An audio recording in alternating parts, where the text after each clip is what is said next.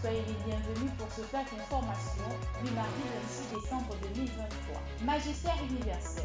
Dans le message de Noël d'hier, lundi 25 décembre 2023, lui avant la bénédiction Urbi et Orbi, le Saint-Père a tourné son regard et son cœur vers Jérusalem, là où règne douleur et silence.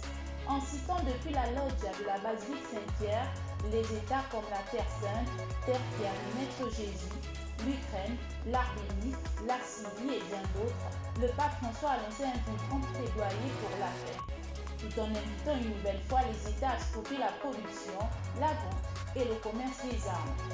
À ceux qui se sentent seuls, qui ont perdu confiance et certitude, le pape François les a rassurés. Le Christ est né pour toi, il t'offre sa petite main d'enfant pour te libérer de tes peurs, te relever de tes peines et te montrer qu'à ses yeux, tu as plus de valeur que tout. Toujours au Vatican. Au cours de l'angélique du quatrième dimanche de l'Avent, le dimanche 24 décembre 2023, place Saint-Pierre, le Saint-Père en commentant les textes liturgiques est revenu sur une image récurrente de la Bible. L'ombre, celle de l'Esprit Saint qui accueille et protège. Aussi, à l'exemple de Marie, l'ombre est un don qui restaure et qui parle de la bonté de Dieu. En rappel, c'est à 19h30 que le Saint-Père a présidé la messe de la Nativité du Seigneur, messe au cours de laquelle le Dieu de l'incarnation a choisi la petitesse. Magistère local. Colossaux à la paroisse Saint-Louis-Marie Union de Montfort, à la paroisse Marie Auxiliatrice de Colombo, à Saint-François-Xavier de Lombaréné ou à la cathédrale Notre-Dame de l'Assomption Sainte-Marie, la messe de la Nativité du Seigneur a été célébrée avec joie et communion.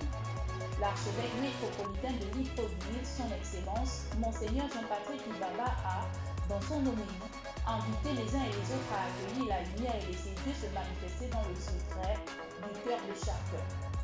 Le métropolitain de Libreville a souhaité les meilleurs vœux aux paroissiens. On note également, au cours de la célébration eucharistique du 25 décembre, de nombreux enfants de 0 à 7 ans sont devenus membres de la grande famille de Dieu par le baptême. Messe de la vigie de la Nativité du Seigneur. Quoique les célébrations liées à la Nativité du Seigneur à la fin du mois de décembre occupent l'esprit de tous les chrétiens, la chapelle bienheureuse Daniel Gauthier du Grand Séminaire éponyme a aussi servi de cadre à la célébration de la vigie de la Nativité du Seigneur le dimanche 24 décembre 2023. C'est le père Elvis Elena Beka, recteur du séminaire, qui a présidé la dite célébration.